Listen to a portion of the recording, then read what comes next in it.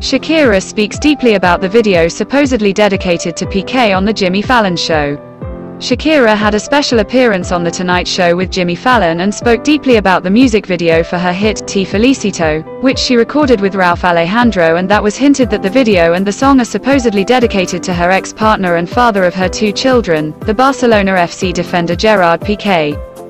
She spoke about how she came up with the concept Shakira mentions that she hadn't released music in a while because her priority are her children, and she focuses on that more than anything in the world.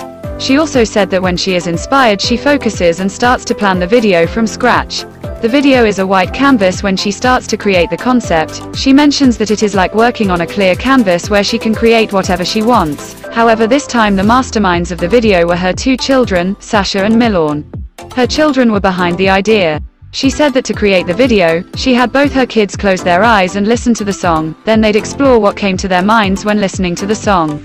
They had two main ideas, the first and most importantly that she'd be dancing with a robot, and then that there would be a green flame.